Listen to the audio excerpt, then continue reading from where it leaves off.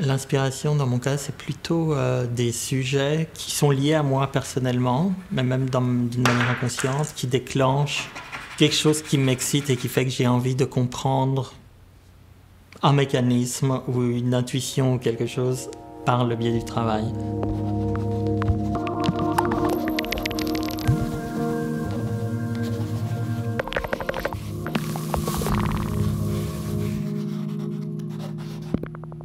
Les premiers travaux étaient sur mes, deux grands-pères, paternels et maternels, qui sont des figures assez autoritaires.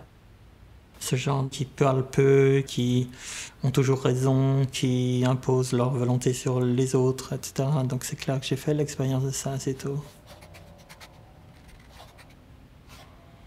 Ouais, dans ce, ces plusieurs travaux que j'ai réunis sous le titre de History of Masculinity, parle de cet apprentissage que c'est d'être un garçon et de performer son, cette masculinité.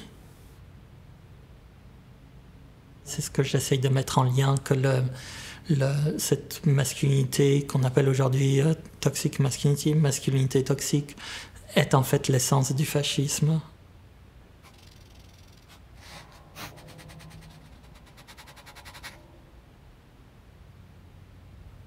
Le travail est un moyen de faire une sorte de aussi de voyage intérieur, d'un voyage de et j'ai pas l'impression d'avoir un contrôle absolu sur ce travail. Du reste, j'ai jamais vraiment choisi cette esthétique. Elle s'est imposée à moi et elle résonnait en moi, donc je l'ai suivie.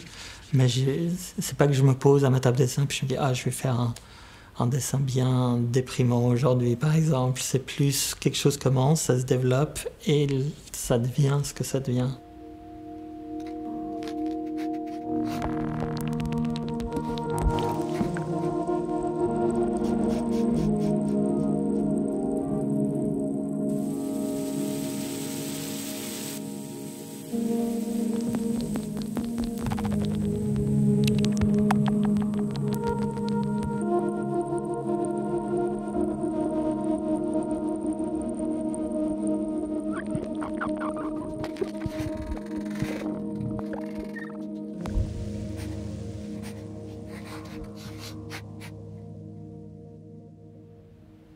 Ah, comme point de départ, il y a beaucoup d'images en fait. Euh, des images préexistantes au travail, quoi, préexistantes au dessin, qui sont soit des inspirations, soit les dessins copient ces images.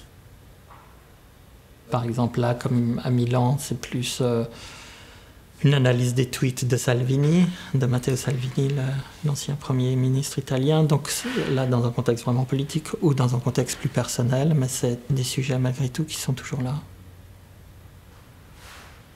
Ce qui m'intéresse toujours, c'est de voir comment ces images qu'on absorbe d'une manière presque inconsciente, parce que euh, finalement, en les absorbant, on absorbe aussi leur euh, message et comment ensuite on peut euh, être influencé par ça ou pas.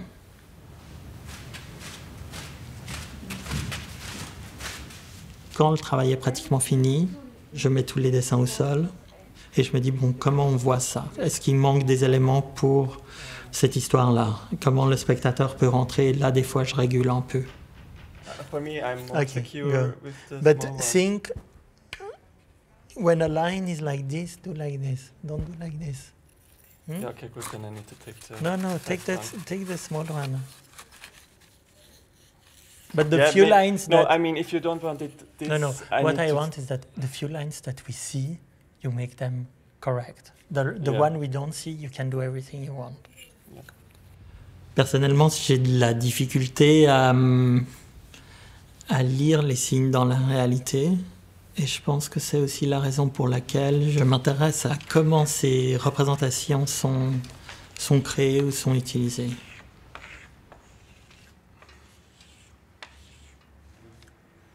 Shall I correct? What? Maître. No. Shall we, uh, we put the platform two down? And uh, then we do these legs.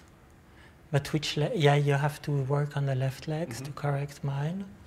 And I will correct your Parkinson style. I think the face is even pretty good. Still monstrous, but mm -hmm. like the mm-hmm. original.